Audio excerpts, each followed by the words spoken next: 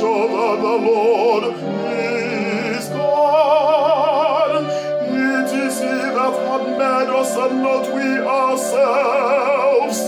We are His people and the sheep of His pasture.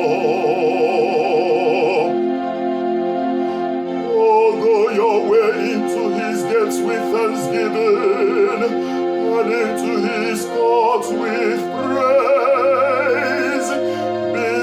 thankful unto Him and speak good of His name. For the Lord is gracious, His mercy is everlasting,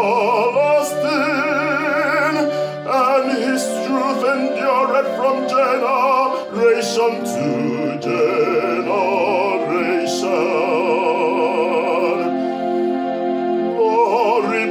the Father, and to the Son, and to the Holy Spirit,